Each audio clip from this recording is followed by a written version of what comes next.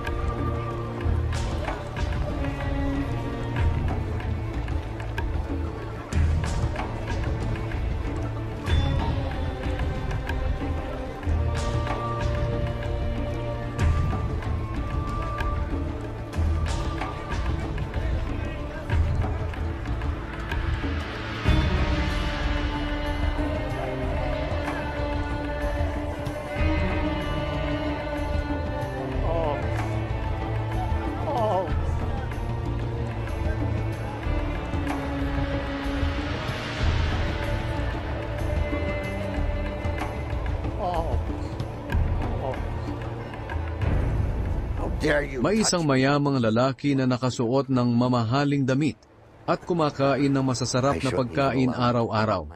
May isa namang pulubing puno ng galis na ang pangalan ay Lazarus. Dinadala siya sa labas ng pintuan ng bakuran ng mayaman. Scraps will fall from my table.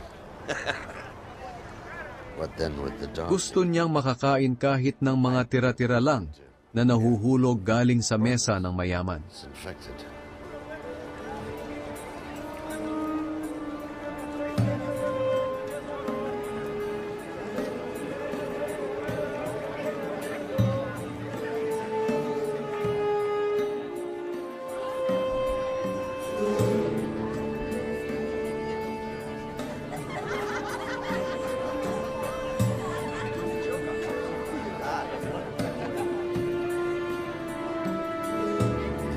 Finally here.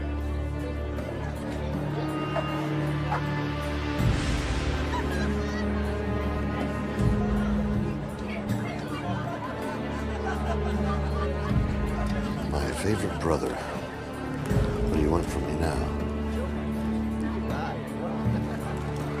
Hmm? We've spent no expense today. I can see that.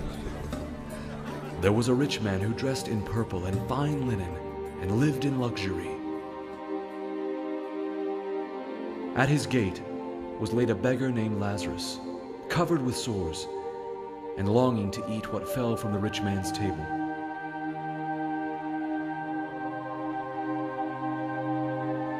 Even the dogs Nilalapitan siya roon ng mga aso at dinidilaan ang mga galis niya.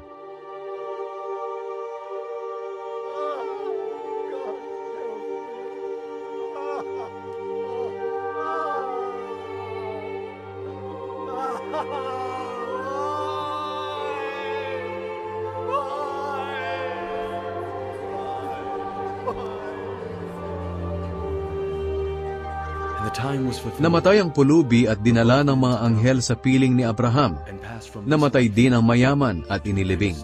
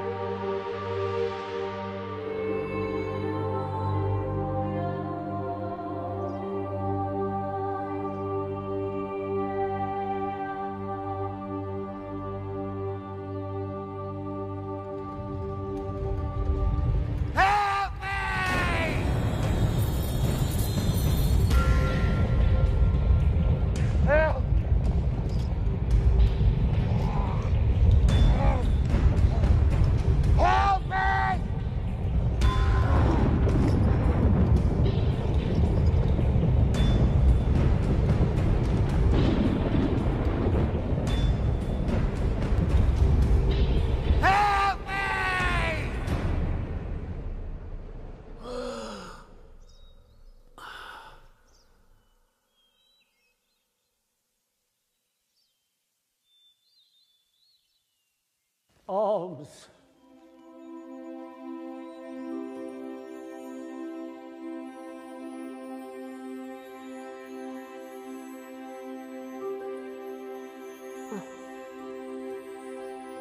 Welcome.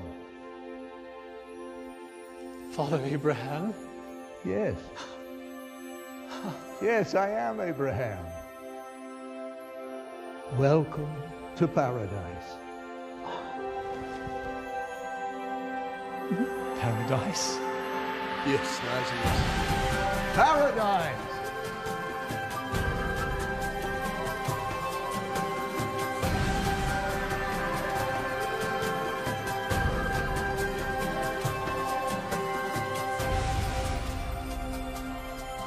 We've been preparing a banquet in your honor. Ah. Yes, yes, come. At habang nagdurusa siya sa lugar ng mga patay, nakita niya sa malayo si Lazarus na kasama si Abraham. Kaya tumawag siya, Amang Abraham, Father Abraham! maawa kayo sa akin.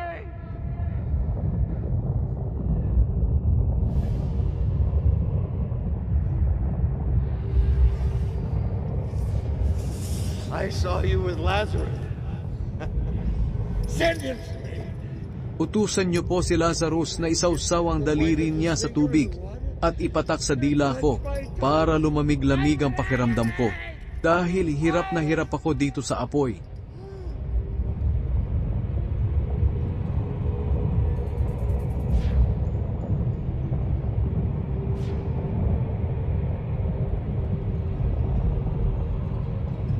Pero sumagot si Abraham, Anak, alalahanin mong noong nabubuhay ka pa sa lupa, ay mabuti ang kalagayan mo. Pero si Lazarus ay hirap na hirap. Ngayon naman ay inaaliw siya rito at ikaw naman ang nahihirapan. Isa pa, hindi maaari ang sinabi mo dahil may malawak na bangin sa pagitan natin. Ang mga nandito sa amin na gustong pumunta riyan ay hindi makakatawid at ang mga nariyan sa inyo ay hindi rin makakatawid dito. Sinabi pa ng mayaman, Kung ganoon amang Abraham, nakikiusap ako sa inyo, papuntahin ninyo si Lazarus sa bahay ng aking ama para bigyan ng babala ang lima kong kapatid na lalaki tungkol sa lugar na ito ng paghihirap nang hindi sila mapunta rito. Sumagot si Abraham, Nasa kanila ang mga isinulat ni Moises at ng mga propeta. Dapat nilang pakinggan ang mga iyon. Sumagot ang mayaman, Hindi po sila makikinig doon amang Abraham. Pero kung may patay na mabubuhay at pupunta sa kanila, magsisisi ang mga iyon. Pero sinabi ni Abraham, kung ayaw nilang makinig sa mga isinulat ni Moises at ng mga propeta, hindi rin sila maniniwala kahit may patay pa na muling mabuhay at mangaral sa kanila. No.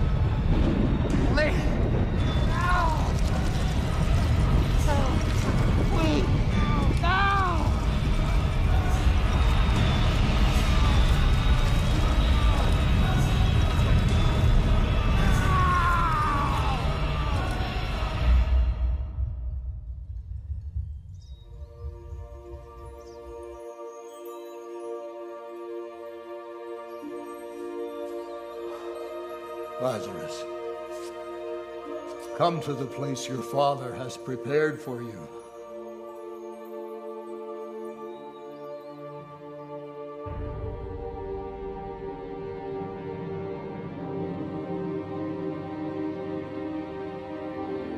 We can divide his estate now. We'll all be rich.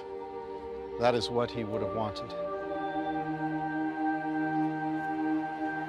Where do you think he is now? He was rich in this life. I'm sure he'll be rich in the next.